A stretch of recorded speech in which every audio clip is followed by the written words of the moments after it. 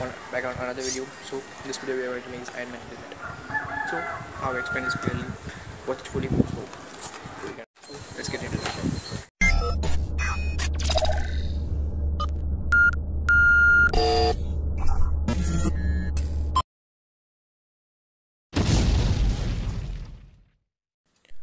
So these are the patterns of the Iron Man helmet. I have given the link in the description so that you can download and make your own helmet.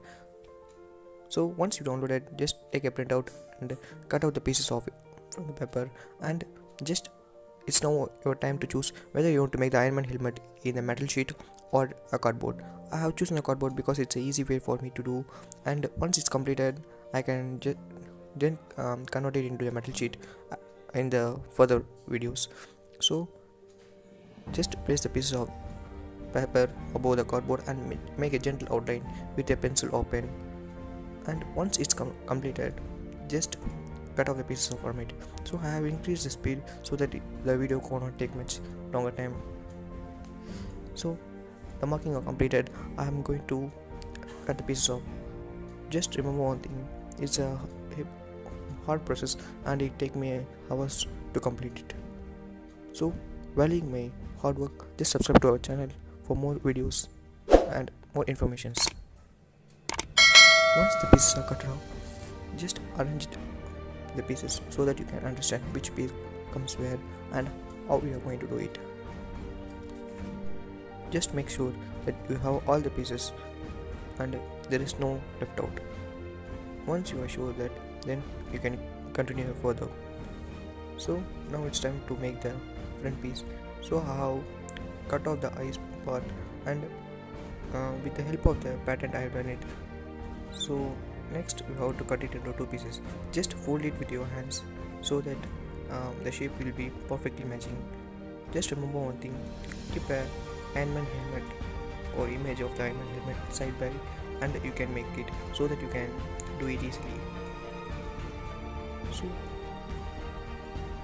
once you folded it just place it in your face so that you can check whether it fits for you so the following order you can easily understand so that I, I don't want to explain everything.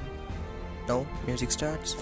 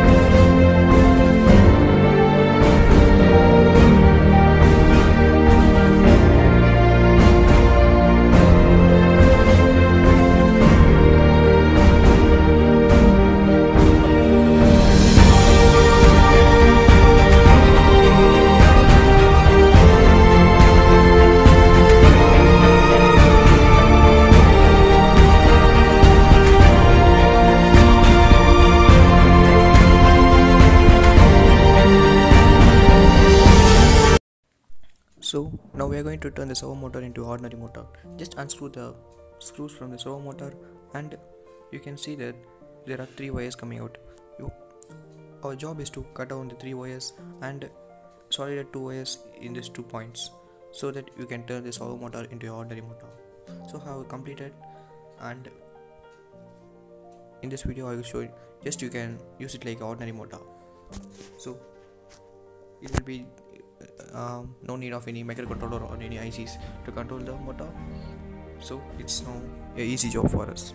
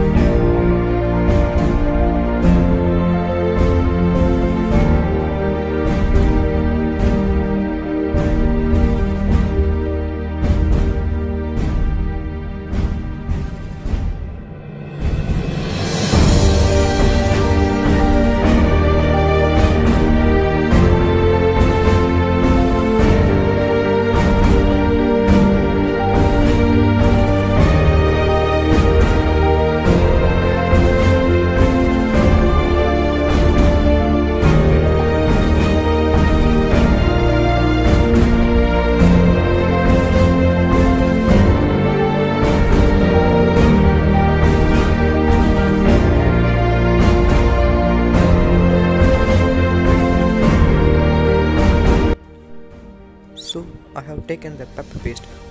That means uh, soaking the newspaper in the water and I have just with the help of a blender I have mixed it made it into a paste. So can you even use a Fevicol to make the whole stove disappear? It will give a jet look. So much painting time. After painting our Iron Man helmet is ready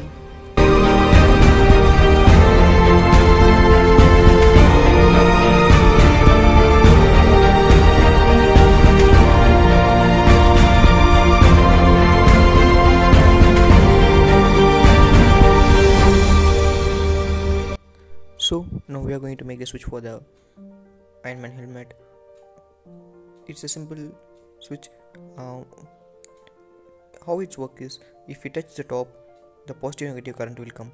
And if we touch the bottom the positive. That is vice versa of the first one you will get.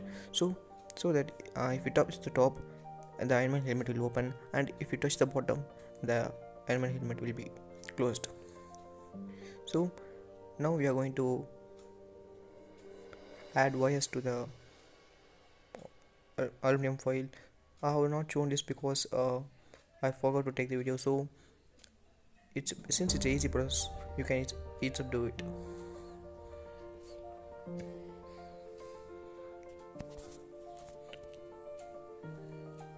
Just make sure that two of the aluminum foils should not touch each other. Now take another two pieces of aluminum foil which we are going to use it for the power supply. So just paste it in parallel manner. Stick it hardly so that it will not come out. And don't apply any uh, glue over that aluminum foil. The glue should be only be below this foil. So it's now completed I have joined the wire so I already told that, told that uh, I have forgot to take the video. Sorry. Um, now just place a double side tape so that there will be a gap between these two of the plates and you can use it as a switch. So I'm going to test it with this.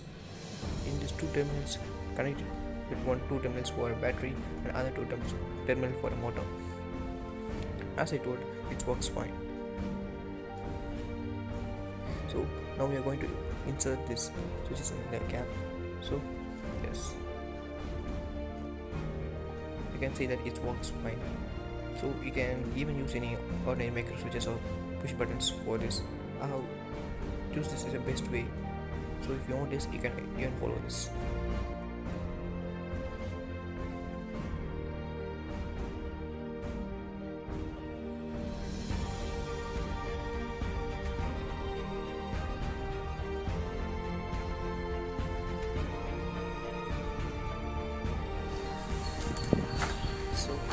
Try at the home it's now your time. So what's next do what's next to do Where strip